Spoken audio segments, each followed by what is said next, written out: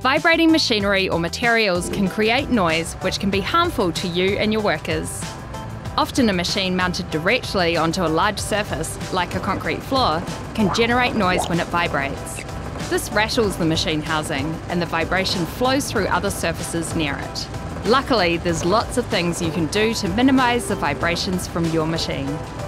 To reduce vibration moving to other surfaces, fix your machine onto a smaller surface and reduce the noise the rattling creates by making its housing more compact.